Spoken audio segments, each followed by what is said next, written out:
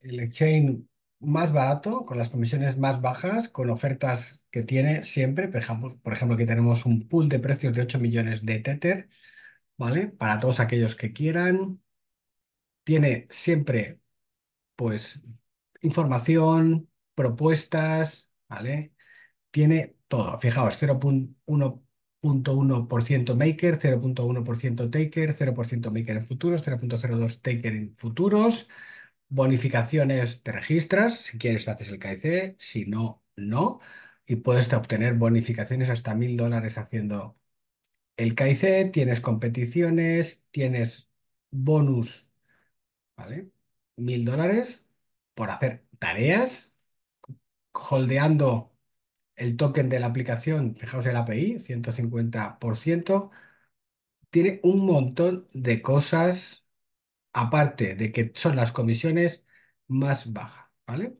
O sea, y puedes obtener recompensas por hacer trading, que es lo que a nosotros nos interesa. El mejor, el que usamos nosotros. Y ahora, el vídeo.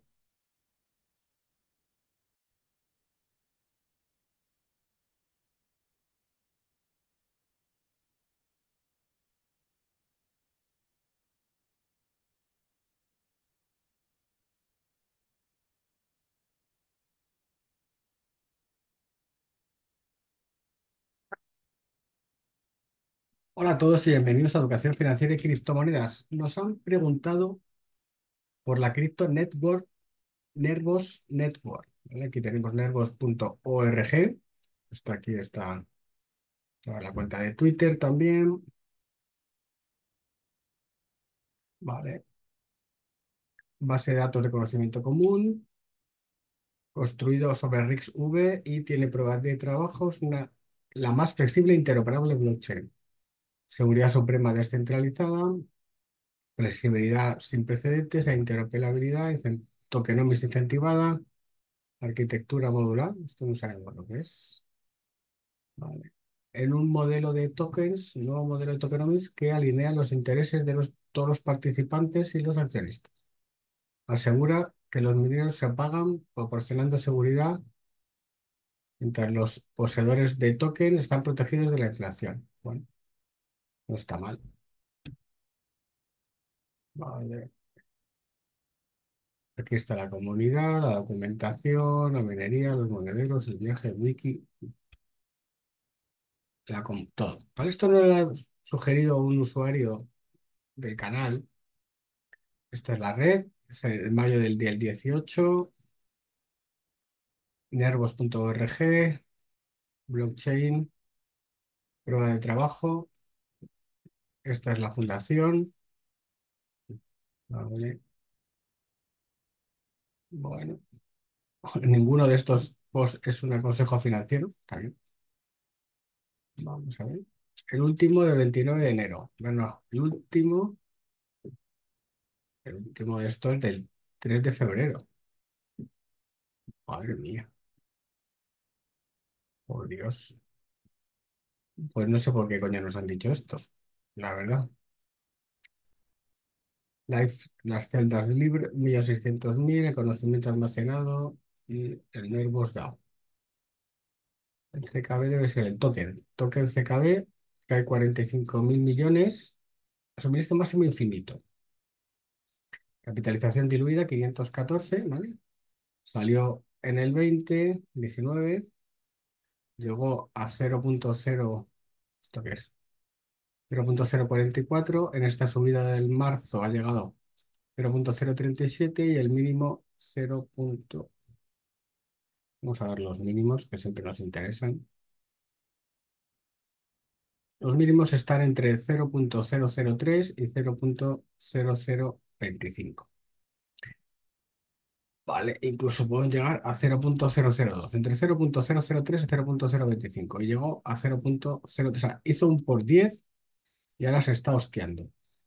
¿Qué haríamos nosotros? Eh, bueno, fijaos la capitalización. La capitalización estuvo en los máximos anteriores de 2021 en la zona de mil millones, en los máximos de este año 2024 ha estado en 1,4 en 1.400 millones, pero si fijáis en el precio, el precio aquí era ligeramente superior al precio de aquí. Con lo cual, ¿qué nos indica? Que hay muchos más tokens en esta subida que en estas anteriores. Entonces, evidentemente, si haces trading y no estás y no tienes un, efecto infla y no compensas la inflación del token, pues vas a perder pasta. Eh, ¿nos interesa? La respuesta es no. Para largo plazo ni de coña, salvo que seas capaz de estoquearlo en algún sitio y que generes y no pierdas. Entonces, todos estos toques inflacionarios llega un momento que si no hay un suministro máximo, no, no interesa ninguno. Al principio puede interesar mientras se desarrolla el proyecto, pero ya que lleva ya cuatro años y esto no, no tiene pinta de hacer nada. O sea, es otro fake project, ¿vale? Seguramente el proyecto es fantástico, hay aquí un montón de cosas que se pueden hacer, ¿vale? La comunidad, los nodos, hacia el conocimiento, el ecosistema, la minería.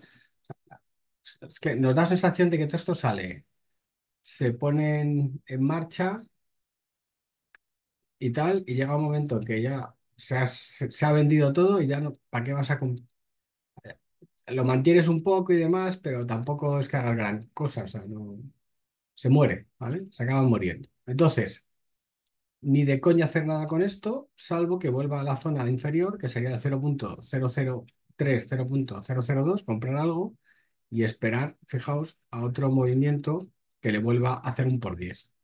Y ya está. Este es el típico proyecto de mierda, porque si te hace un por 10, pues cojonudo, le sacas una pasta. Fijaos que si vuelve a caer, se va aquí abajo, se va a una capitalización a lo mejor de 100 millones, 150 millones, te vuelve a subir a 100, 120 millones, te vuelve a subir a 1.200 millones, pues haces un por 10, lo vendes y a correr.